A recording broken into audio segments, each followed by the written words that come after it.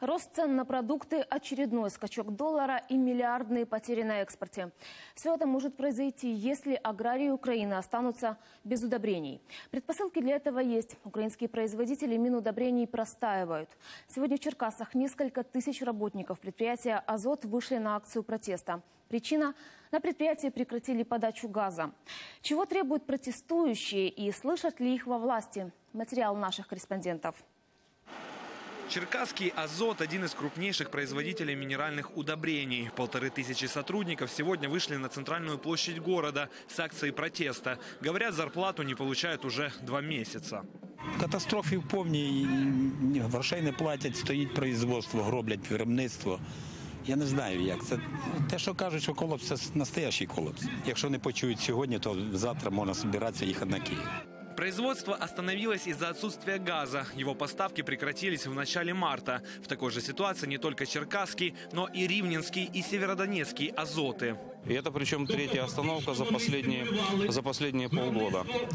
А Мы запускаемся, нас останавливают. Все те деньги, которые должны были вроде бы как идти на закупку украинских удобрений, они идут на закупку российских удобрений. Сегодня на рынке удобрений идет нечестная борьба, говорят национальные производители. Они несут колоссальные убытки. Выходом может стать введение антидемпинговых пошлин на импортные удобрения. Российские минеральные удобрения на сегодняшний день имеют возможность в цене очень выгодно выглядеть перед э, сельхозпокупателями нашими. И э, это делается для того, чтобы остановить весь украинский химпром. Черкасский «Азот» – это не только рабочие места, более чем для 4 тысяч человек. За счет предприятия фактически живет и город, который в виде налогов получает средства в местный бюджет. Ми як були на стороні працівників, ми так і будемо захищати. Це не лише містоутворююче підприємство, це е, підприємство, яке е, важливо для економіки всієї області і в багатьох випадках і для всієї України. Из-за простое химпредприятия дефицит удобрений на украинском рынке составляет уже более 30%. Федерация работодателей Украины приводят шокирующие цифры. Государство может потерять около 2,5 миллиардов долларов экспортной выручки и миллиарды в сельском хозяйстве. У аграриев осталось не так много времени, чтобы успеть внести удобрения. Посевная в этом году началась раньше обычного, и последний срок до конца апреля. Если сельхозпроизводитель не получит необходимые минеральные удобрения, то э, урожай этого года будет очень низким. А это и налоги, это и поступления э, в городские бюджеты, в областные бюджеты, а также э, валютные поступления в страну.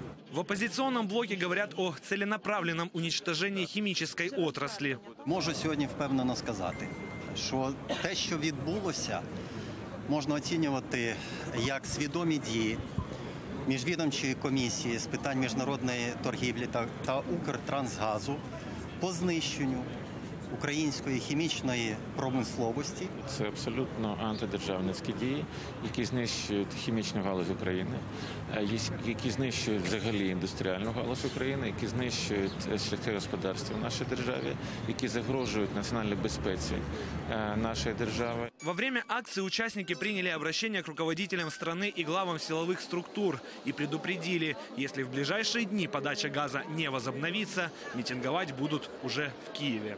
Андрей Кровец, Елена Брынза, Владимир Кувакин. Подробности телеканал Интер Черкассы. Из России в Украину за последние три года завезли почти 2,5 миллиона тонн минеральных удобрений, а из украинского кармана в российский, не без помощи Народного фронта, партии экс-премьера Яценюка, ушло около полумиллиарда долларов. Напомню, еще в 2014-м, когда у наших производителей удобрений начались проблемы из-за роста цены на газ, правительство Яценюка решило закупать карбамид и аммиачную селитру именно у российского Еврохима. Мы не раз рассказывали в подробностях, как благодаря такому сотрудничеству живет припеваючи «это российская компания». Ее владелец Андрей Мельниченко не покидает первых строк в списке миллиардеров российского Форбса. Его яхта «Белая жемчужина», к примеру, самая длинная в мире. Кстати, деньги Еврохим получает и от российского Минобороны. Ведомство закупает селитру для производства пороха.